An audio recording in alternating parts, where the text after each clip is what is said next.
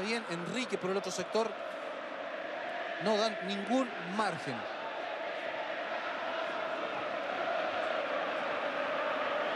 Uy, Herrera. Nilmar gol.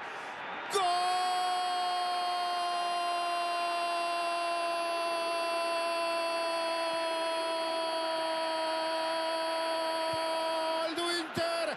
Nacional de Porto Alegre en un error garrafal. En nueve primer tiempo del partido. 1 a 0. Gana el Inter de Porto Alegre. Nilmar. Error infantil en la salida de Eraú. Inter 1. Nilmar lo hizo silenciando al Estadio Nacional de Santiago de Chile.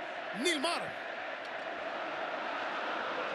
Bueno, me, parece que estos esos eh, goles que prácticamente no hay que comentarlos. Están las imágenes ahí para que para que lo vean y analicen. Yo creo que el, el primer error es en el mal control. Fíjate que ahora me vengo a dar cuenta en la repetición. Mira el control de Johnny Herrera. Fíjate, le queda largo. Ahí. Cuando quiere reaccionar ya era tarde. Se, de hecho se da cuenta, cuando gira se da cuenta que la pelota le queda larga, quiere acelerar.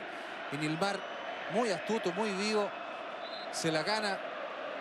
Un error garrafal de John Herrera que le cuesta a, ¿cuánto? ¿Nueve minutos? El 1 a 0 o 0 a 1 si usted le prefiere. Alessandro. Sube Sacha. Balón por fuera. Espera Jorge Enrique. Sacha. Gol.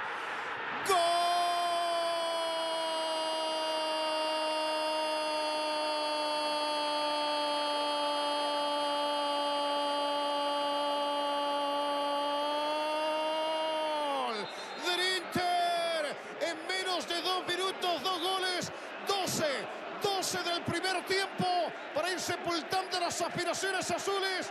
Ahora anotó Sacha. 2 a 0. Silencio sepulcral.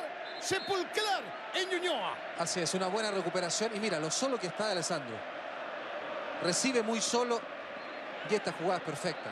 Acelera muy bien Sacha, le marca la jugada, le indica dónde tiene que ir la habilitación y la definición de primera ante la salida de Johnny Herrera. Claro, con algo de fortuna le pasa entre medio de las piernas, pero un ejemplo de contraataque. Cómo tiene que ser. En dos toques llegar al campo rival y con una pelota muy precisa para la habilitación de Sacha que pone este 2 a 0 impensado. ¿Qué te iba a decir? A los 12 minutos que este partido estar 0 a 2 con una, uni- una uni- Universidad de Chile, digo que, que, había, que venía subiendo su nivel en el campeonato nacional y que además ayer se le abría una ventana con el triunfo de Strongest sobre Emelec.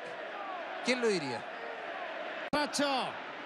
Balón para Nilmar, a correr Nilmar para el Inter, se va a meter en el área, Guzmán Pereira, Nilmar, gol. Gol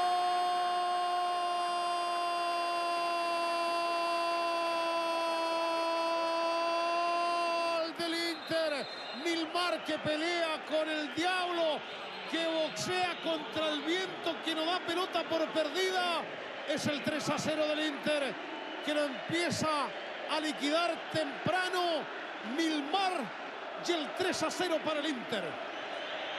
Un tipo indescifrable por dónde te va a atacar, por dónde te va a encarar. Rapidísimo, astuto, muy, muy peligroso. Mira, por fuera, después por dentro. Y acá, cuando tiene la posición casi ganada Guzmán Pereira, mete ese zurdazo, pincha la pelota apenas con la zurda. Aquí se va a apreciar mejor. Mira, tiene ganada la posición y alcanza a meter la punta de sus zapatos para vencer una vez más a Johnny Herrera. Error exceso de confianza de Guzmán Pereira que pensó que ya tenía ganada ya, que ya le había ganado la posición y no le alcanza a cruzar el pie para un hombre, insisto, indescifrable lo que va a hacer. Sacando Costa. Jefferson. Espera Sacha. A correr Sacha. Por dentro está Valdivia. Uy, que solo Valdivia. Valdivia. Gol. Gol.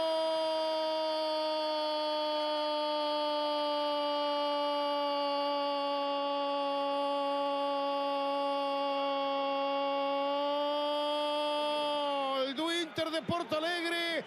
Anotó Valdivia para el 4 a 0.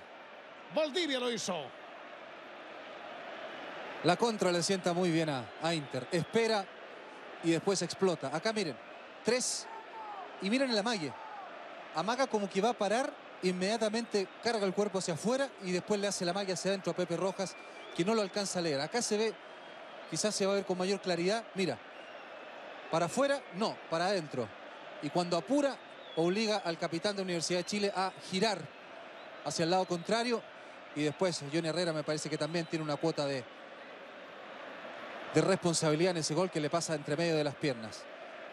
Y celebró como Jorge Valdivia, Sí. con la mano en los ojos. Eh, Valdivia, el número 29, que anota su octavo gol con la camiseta del Inter, su primero en la Copa Bridgestone Libertadores.